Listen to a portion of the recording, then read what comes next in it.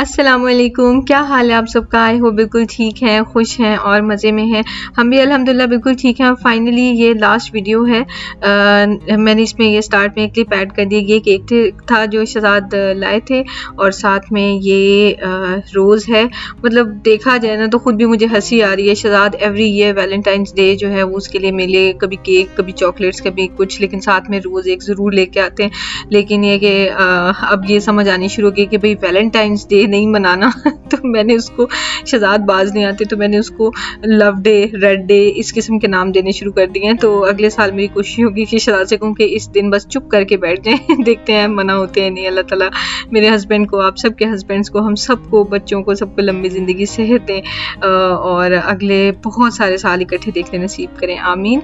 तो यहाँ पे जनाब बन रहा है डिनर, जैसा कि मैंने आपको पिछली वीडियो में भी बनाया, बताया कि सेम डे तो डिनर नहीं था चूँकि, लेकिन ये सीरीज़ शुरू की थी तो मैं इस वजह से इसका डिनर भी बना रही हूँ। ये नेक्स्ट डे बनाया था मैंने।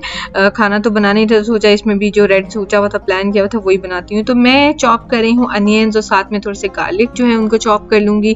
मैं बना रही हूँ रेड पास्ता और साथ में स्टफ्ड बेल पेपर होंगी। लास्ट टाइम जो मैंने बेल पेपर्स की स्टफिंग की थी, वो मैंने कीमा से की थी। इस बार मैं इसके अंदर पोटैटो की फिलिंग करूँगी और बहुत मज़े के बनते हैं, ये बहुत ही टेस्टी बनते हैं। ये तो जैसे आम जो आप आलू के कटलेट्स बनाते हैं, अगर आपके पास ग्रीन या रेड कोई भी बेल पेपर पड़ी हुई है तो आप उसके अंदर स्टफिंग कर सकते हैं। तो बहुत अच्छी बनती है। अगर वो भी नहीं है ना तो आपके पास मोटी मोटी वाली जो लाल मिर्ची होती है ना, जो वन इंच डायमीटर तो कम अज़ कम हो तो उसके अंदर भी आप ये स्टफिंग करके छोटे छोटे से ये रिंग्स टाइप बना सकते हैं। तो आइडियाज़ लिमिटलेस होते हैं जितना बंदा दिमाग लगा ले। तो यहाँ पे मैंने रिंग्स बना लिया वन सेंटीमीटर थिक कट कर लिए। मैंने बेल पेपर्स को बाकी जो है वो चॉप करके मैंने आलू के साथ डाल दिए। पोटैटोज जो है, ये मैंने बॉईल करके पील करके रखे हैं। इसके अंदर मैं दो मिंट क्यूब्स ऐड कर रही हूँ। ये मैंने मिंट होता है और साथ में ग्रीन चिलीज होती हैं, उसको पानी के साथ ब्लेंड किया होता है और फिर मैं आइस क्यूब्स में, आइस ट्रे में फ्रीज कर लेती हूँ। साथ में मैंने इसमें डाला है थोड़ा सा प्याज और साथ में ये रेड टोमेटो पेस्ट। आपने ये नहीं डालनी तो आप स्किप कर सकते हैं, टोमेटो पेस्ट डालने की ज़रूरत नहीं है। साथ में मैंने इसके अंदर डाली है जी सॉल्ट और ये चाट मसाला। ये मैं देसी स्टाइल में बना रही हूँ, लेकिन चूँकि रेड डे था तो मैंने थोड़ी सी इसमें ये टोमेटो पेस्ट डाली है। इससे भी वैसे फ्लेवर बहुत मज़े का आया था। हर चीज़ का एक अपना फ्लेवर होता है, हर इंग्रेडिएंट अपना अपना एक अलग फ्लेवर लेके आता है। ये डिपेंड करता है कि आप उसे किस डिश में डाल रहे हैं, कई डिशेज ऐसी होती हैं कि सारे फ्लेवर्स इन्फ्यूज़ होके एक यूनिक फ्लेवर बन जाता है। कई डिशेज ऐसी होती हैं कि हर इंग्रेडिएंट का अपना अपना फ्लेवर बीच में फील हो रहा होता है। तो ये टोटली डिपेंड करता है कि आप क्या बना रहे हैं। इस पर भी कभी बात करेंगे। एनी वेज यहाँ पे आते हैं जी मैकरोनी बनाने की तरफ़। तो मैंने यहाँ पे ले लिया है। थोड़ा सा मैंने ऑयल डाला था और साथ में मैंने बटर डाल दिया है।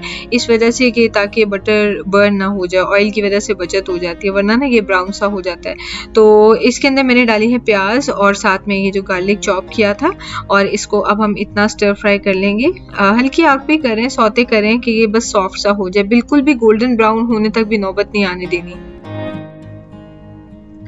अगर आपने बटर नहीं यूज़ करना तो आप ऑयल भी यूज़ कर सकते हैं। मैं ज़्यादातर अब तो पास्ता में भी ऑयल ही यूज़ करती हूँ, लेकिन कभी कभी दिल करता है कि चलें ज़रा बटर वगैरह डाल लिया करें। बटर से फ्लेवर बहुत अच्छा लगता है। तो एनीवेज यहाँ पे इसको मैं मेल्ट करने की कोशिश कर रही हूँ। मैं टू पैकेट्स ऑफ़ पास्ता बना रही हूँ, क्योंकि बच्चों को बहुत पसंद है पास्ता और फिर एक पैकेट बनाती हूँ तो माशाला से एक दिन में ही ख़त्म हो जाता है। फिर कहते हैं, मम्मा पास्ता खानी है।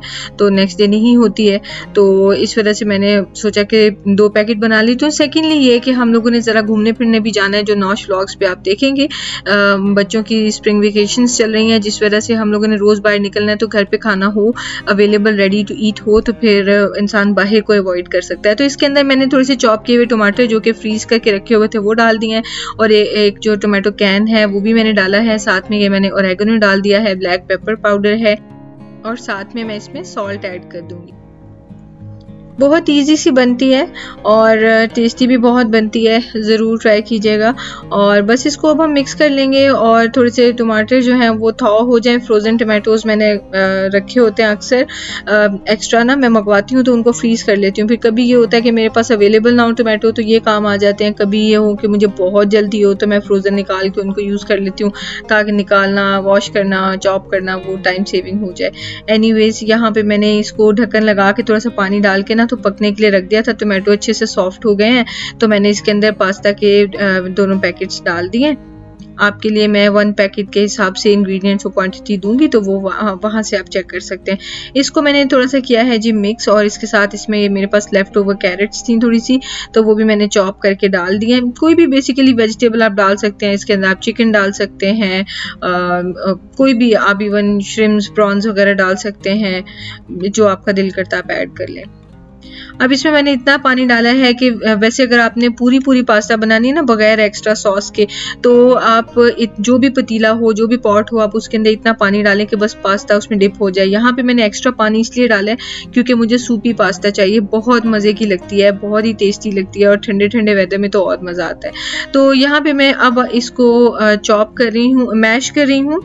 ये जो मैंने स्टफिंग बनाई थी पोटैटो की, क्योंकि पहले तो क्यूब्स जो है वो फ्रोज़न थी तो अब वो खुद ही मेल्ट हो गई हैं तो मैं अब इसको चॉप कर चॉप मैश करना शुरू हो गई हूँ। इसके अंदर भी मैंने कैरेट्स डाल दिए हैं।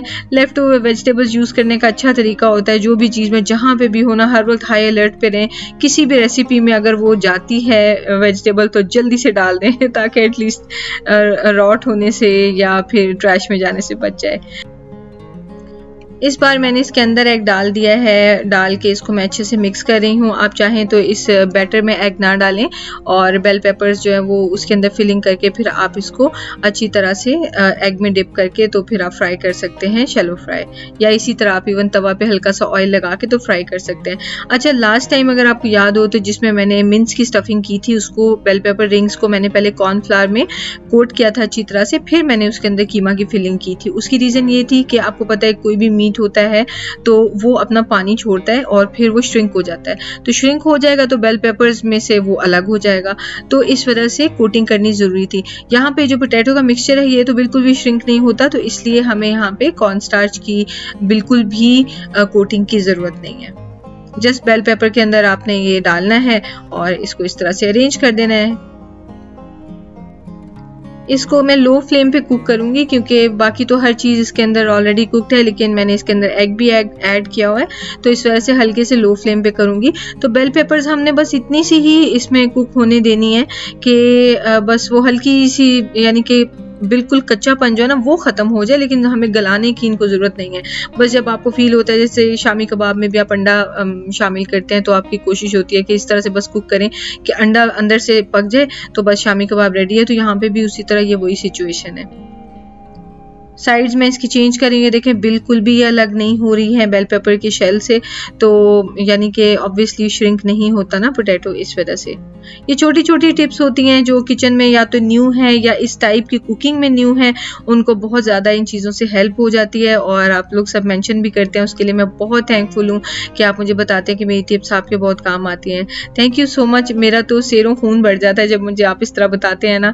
तो मेरा इसीलिए हीमोग्लोबिन जो है वो कभी ड्रॉप नहीं होता। क्योंकि आप होने नहीं देते। इस वक्त रात के साढ़े बारह हो रहे हैं तो बिल्कुल इस टाइम की तरह मेरे जोक्स भी थके हुए हैं। मुझे बहुत सख्त नींद आ रही है। एक्चुअली आज हम लोग जू गए हुए थे और वहाँ से वापस आए हैं। बहुत ही ज़्यादा इंजॉय किया। हंस हंस के हम लोग क्रेजी हो गए क्योंकि यहाँ का जू पाकिस्तान के जू की तरह या सऊदी अरब के जू की तरह नहीं है। यहाँ पर तो सारे एनिमल्स खुले फिर रहे थे। बहुत मज़ा आया। तो नौश व्लॉग्स पर आप देखेंगे ना तो आप बहुत इन्जॉय करेंगे। ज़रूर देखिएगा और प्लीज़ इस चैनल को भी सब्सक्राइब करें और इसको शेयर करें। मेरे इस चैनल को भी, उस चैनल चैनल को भी यहाँ पे माशाल्लाह से साढ़े चार लाख सब्सक्राइबर्स हो गए हैं। इंशाल्लाह उम्मीद है कि जल्द ही पाँच लाख और फिर उसके बाद दस लाख भी इंशाल्लाह हो जाएँगे। आप सबकी दुआओं से और आप सबके साथ से। तो ये देखिए, पास्ता रेडी हो गई है और इसके अंदर मैंने थोड़ी सी बस लास्ट में केचप मिक्स कर दिया है और इसको जो है ना क्या कहते हैं पानी मैंने इसके अंदर थोड़ा सा और ऐड किया था क्योंकि मुझे सूपी वाली चाहिए। तो ये देखिए, यहाँ पे ना मैंने इसमें डाल दिए हैं, ये फ्रोज़न क्यूब्स हैं पालक की स्पिनच की। तो ये रेडीमेड थी, लेकिन मैं सोची थी आइडिया अच्छा है कि स्पिनच को लेके वॉश करके उसको एक एक दो बॉयल दिला के जब वो अच्छे से विल्ट हो जाए तो फिर उसका पानी ड्रेन करके उसको खुद ही फ्रीज़ कर दिया जाए तो होममेड पालक भी होगी हमारे पास। तो ये भी मैं इंशाल्लाह करूँगी किसी दिन। थोड़े से मेरे पास कितनी बीन्स पड़े थे, वो डाल दिए हैं, इनों की मशरूम्स पड़ी हुई थी, वो डाल दी हैं। और बस ये चीज़ें हैं इसके अंदर। ये इनोकी मशरूम्स मुझे बहुत क्यूट लगती हैं। इनकी तो मैं आपसे बहुत सारी रेसिपीज़ शेयर करूँगी। आजकल मुझे इनसे प्यार हुआ हुआ है तो इस वजह से आपको हर चीज़ में इनोकी मशरूम्स ही नज़र आती हैं। अब हम एक से दो बॉयल्स देंगे और बस जनाब ये हो जाएँगी रेडी स्पिनच जो है वो भी ऑलरेडी कुकड है, बस उसको थोड़ा सा मिक्स कर लेंगे और उतने में मशरूम्स और स्पिनच रेडी हो जाएँगी। और बस ये हमारी पास्ता रेडी हो गई है। पानी मैं एंड पे थोड़ा सा और ऐड करके एक दो बॉयल्स और दिला दूँ, क्योंकि पानी मुझे लग रहा है कि फिर से कम हो गया तो बस ये अभी आप लास्ट में देखेंगे, ये देखें, और पानी मैंने ऐड किया था। जब भी पानी लास्ट में कभी ऐड करना हो, एक से दो बॉयल ज़रूर दिलवाने चाहिए। बेशक आपने जो क्या कहते हैं बॉटल्ड वाटर यूज़ किया हो तब भी। क्योंकि नहीं तो डिश में ना हर, वो पानी का टेस्ट अलग अलग ही फील होता है। नॉर्मली पानी टेस्टलेस है, लेकिन डिश में अपना टेस्ट देता है।